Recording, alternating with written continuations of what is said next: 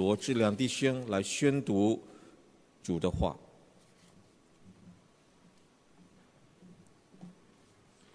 弟兄姊妹们平安！现在是攻读圣经时间，请打开圣经，第马太福音第五章第十三到十六节。马太福音第五章：你们是世上的盐，盐若失了味，怎能叫它再咸呢？以后无用，不过丢在外面被人践踏了。你们是世上的光，晨照在山上是不能隐藏的。人点灯，不放在亮斗底下，而是放在灯台上，就照亮一家的人。你们的光当这样照在人前，叫他们看见你们的好处行为，便将荣耀归给你们在天上的父。这是上帝的道，感谢上帝。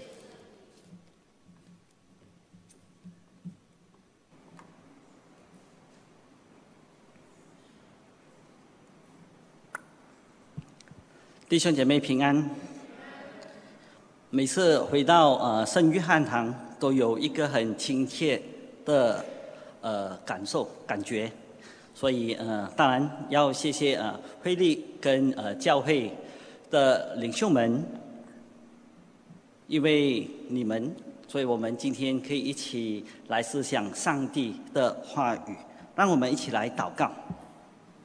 天父上帝，是的，我们要将我们一生献给你，恳求天父你帮助我们，借着我们的一生，能够能够成为这个世上的盐和光，以致我们可以彰显天父你的荣耀。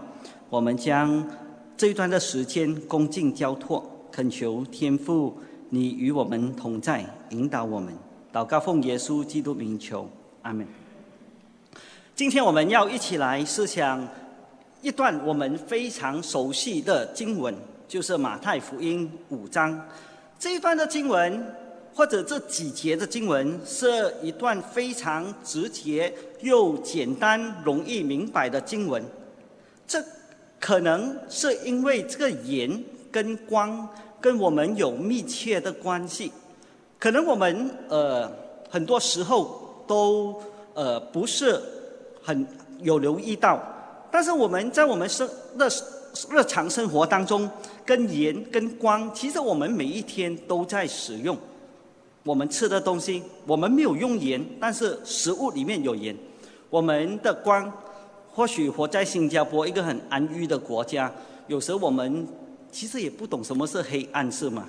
可能要去问比较小的哈，你们懂什么是黑暗吗？他们大概不懂什么叫黑。当然，他们不知道黑，就自然也不知道什么是怕。所以，我们的生活不能够没有盐和光。在今天的经文，耶稣说：“耶稣说，你们是世上的盐。”耶稣也说：“你们是世上的光。”耶稣不单肯定了你我的生命，或者是基督徒的生命。同时，这也是基督对基督徒生命的一个要求。我们是盐，我们也是光。我们不是去做盐，我们不是去做光。我们是人，我们不需要故意去做人，因为我们本身就是人。我们的生命的本质应该要有盐和光这两个的素质。我们可以做基督徒。我们可以做老板，我们可以做李光耀、周杰伦等等，但是如果我们不是他们，我们会发现，在做的过程当中，我们会很累。我因为我们不是他们，但是如果今天我们是基督徒，今天我们是老板，我们是某某人，我们就可以很自然的真情流露，因为我们不需要去做，也不需要去模仿。所以，如果我们无法理清做跟事这两者之间的分别，那恐怕我们也无法活出一个是盐也是光的生命。既然既然耶稣说，既然耶稣说你们是世上的盐，那我们必须先理清盐的本质，或者盐到底是什么的东西。不知道我们有没有人知道盐的功用？盐的功用就是除了我们日常生活当中所用的消毒啊，呃等等，这个盐的功用，有没有人知道盐真实的功用有几种？有吗？要不要猜猜一猜？啊，防腐啊，讲一个数字就好了。盐有多少种的呃用处？十种、二十种、三十种，快点算。要不要猜一下？当然，我也我也不知道有多少种哈。但是根据科学的研究哈，科科学的研究对于盐盐这个不是很起眼的东西，科学研究盐的功用。大约有十四万种，就是六个数字哈，十四后面再加四个零哈，大概有十四万种的用途。所以罗马人就有一句的谚语说：“没有别的东西比太阳和盐更有用处，没有别的东西比太阳跟盐更有用处。”不知道在座的我们对盐的认识有多少？但是也不要给这十四万种的用途吓到，因为我们没有时间一一去呃思想。但是今天我们主要主要是借着两点来思想盐的用途。首先，盐有什么的用途？就是刚才呃听到的哈，盐的本质或者我们很熟悉的一个用途就是防腐，特别是我们爷爷奶奶没有冰箱的时候。盐就扮演非常重要的角色，因为只要将盐撒在一些生的东西上，比如肉，肉就可以保存的久一点，而这样子的肉也比较好吃，是不是？啊，我们都懂哈，懂点头的大概都有一些年龄的哈，啊，都会比较好吃，因为盐有防腐的功能，盐有防腐的功能，耶稣肯定。我们的生命是世上的盐，那我们今天要一起来思想，看看自己生命的是我们的生命有没有防腐的影响力？我们的生命有没有防腐的影响力？在我们出现的地方，会不会因为我们的出现而稳定一段将要破裂的关系？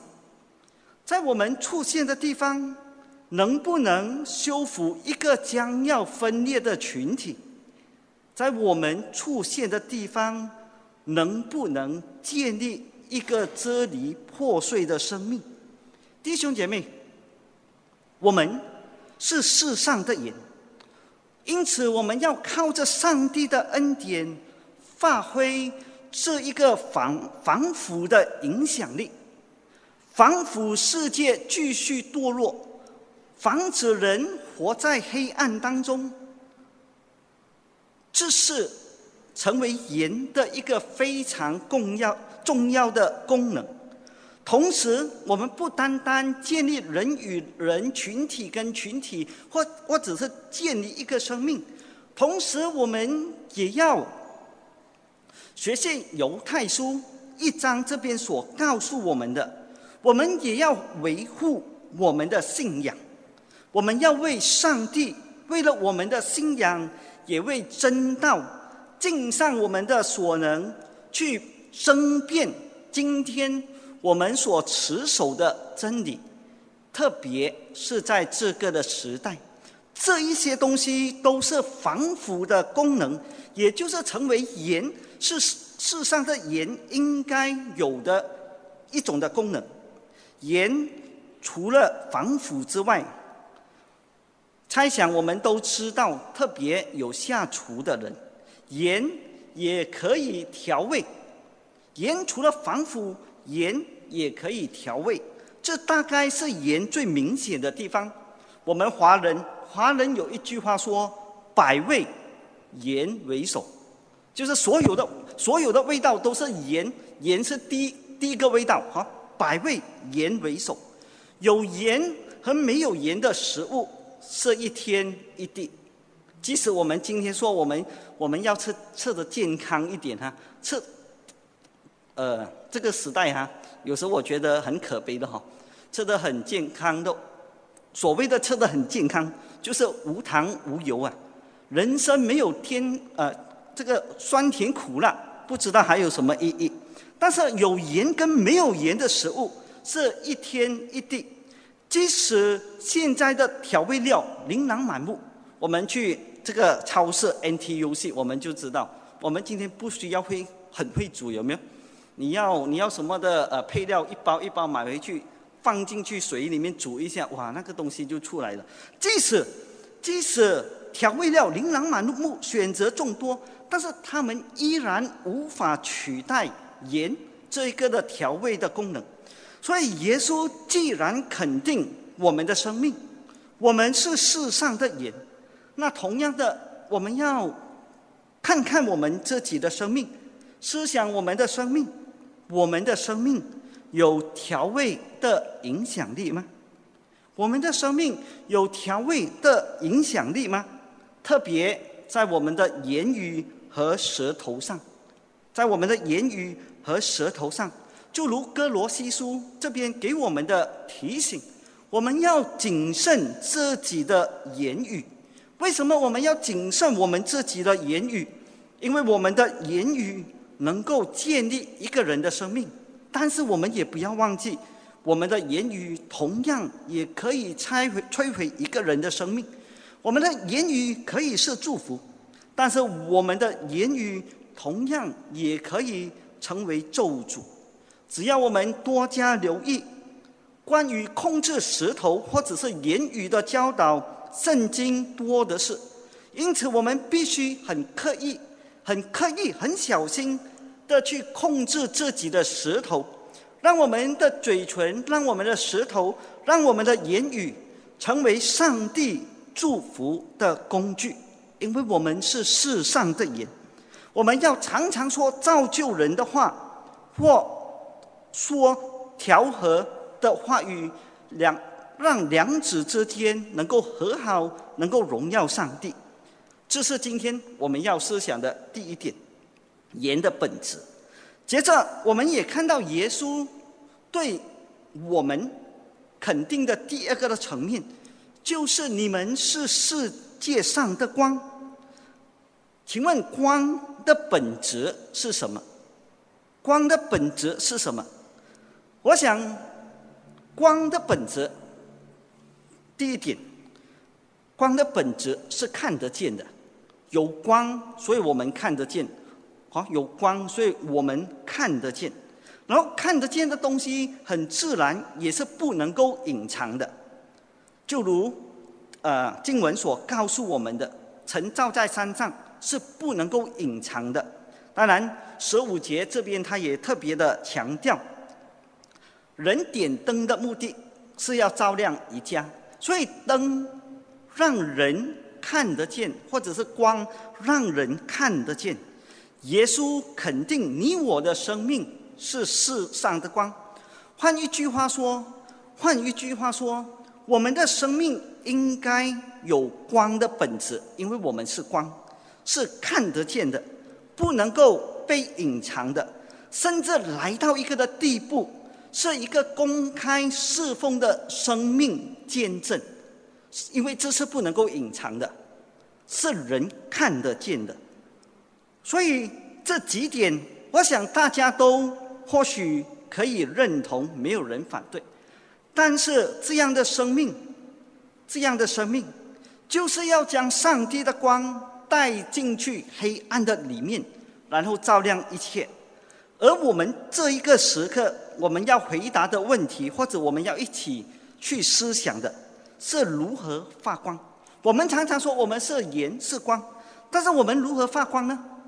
身为光的我们，如何在这个世界上反映上帝的光呢？我们想想，同样我们想想自己的生命，想想自己的生命，不要去想别人哈。我们的所做的一切，我们的言行举止。我们的处事为人，这也包括我们在教会当中跟弟兄姐妹的互动，在我们所有的言行举止、处事为人当中，请问有多少可以真实反映上帝是光，或者是反映我们的生命就是光。多少时候我们活出世上的光来照亮我们身旁的人呢？没有任何的判断，只是让大家一起来反思审查我们自己的生命，好让我们知道我们自己生命当中的真实状况。但是，如果我们回到马太福音的第五章，如果我们回到马太福音的第五章，或许能给我们一个很好的指示：我们如何为上帝发光。在盐和光的记载之前，其实是一段我们都非常熟悉的经文，就是八福，就是 buff，。当中，我猜想大家对 buff 都非常的熟悉，就是那几个福有没有？虚心的人有福了，因为天国是他们的；饥渴慕义的人有福了，因为他们必得饱足。这 buff，盐和光之前的记载是 buff，，我们熟悉这 buff，，我们也非常乐意去领受这八样的祝福。但是十一节。五章十一节似乎为八福做了一个的总结。五章十一节告诉我们：人若因我这里的我就是耶稣或者是上帝辱骂你们、逼迫你们、逆照各样坏话回谤你们，你们就有福了。十一节似乎为整段的八福做了一个的总结。弟兄姐妹，当我们说我们要如何发光的时候，当我们想想，当我们面对十一节这边所讲的、所提到的三个的处境，当我们为了信仰的缘故，我们被人辱骂；当我们为了上帝的缘故，我们面对逼迫，我们也面对各样的坏话，受到回谤的时候，我们是。为了上帝的缘故，继续发光去照亮他们吗？还是我们发火的对抗他们？我们是发光照亮他们，还是在发火去跟他们对抗？五章的记载，或者是那个的呃那个的安排，其实是很奇妙的。盐和光之前是 buff，然后如果我们再继续看下去，盐和光之后，我们也看到盐和光之后，它记载了不同的课题，成为我们的教导。这里的课题包括论律法、论发怒、奸淫、休妻、启示、报复、哀愁的。我想，当我们都处在这些的状况的时候，肯定我们一定有自己自己的脾气，或者是自己呃自己的个性有没有去面对这这几个的课题？但是在面对这些处境的时候，我们的光是否依然可以因着上帝的恩典，我们继续发光？继续的照亮他们呢？我们就拿一个论律法作为一个的例子。二十节告诉我们：“我告诉你们，你们的义若不胜于文色和法律赛人的义，断不能进天国。”这节告诉我们什么？这节告诉我们，当我们面对。这一群非常讲究律法的人，就是文士和法利赛人的面前，所谓我们的义，依然要照亮他们。换一句话说，虽然他们很讲究律法，我们要比法律赛人更加的守律法，我们的义才能够以光的形式去照亮他们的生命。直接一点。就是我们要不断的吃亏，即使我们，呃，是对的，我们也要很多时候，我们也需要因着信仰的缘故而吃亏。为了信仰的缘故而闭口不言，借着这样子的一个行为，成为这个世上的光，去照亮照亮他们。所以弟兄姐妹，在这些种种不同的课题或者是类似的处境当中，我们的生命是否依然可以靠着上帝的恩典发光的照亮他们吗？也唯有这样的时候，我们才能够活出光的本质，因为这样子的本质是看得见，是不能够隐藏，也是公开的见证。这对谁有所谓的好处？经文告诉我们，也只有这样子的行为，才能够将人指向天父，荣耀上帝。因此，盼望今天的分享。能够再次的提醒我们：我们是盐，我们也是光。我们需要活出盐和光的本质，然后发挥防腐和调和的影响力，防腐跟调和的影响力，并反映上帝的光去照亮别人。不要将，不要因为我们是光而看不起活在黑暗里面的人。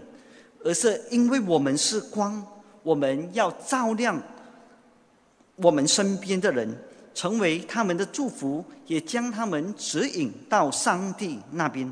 我们一起祷告：天父上帝，我们谢谢你，谢谢你给我们生命的肯定，让我们是生世上的盐和世上的光。天父，我们恳求你帮助我们活出盐。和光的本质，以致我们可以彰显你的荣耀，也可以将人指向你。天父，当人的言语停止的时候，恳求圣灵你继续向我们说话。祷告奉耶稣基督名求，阿门。谢谢。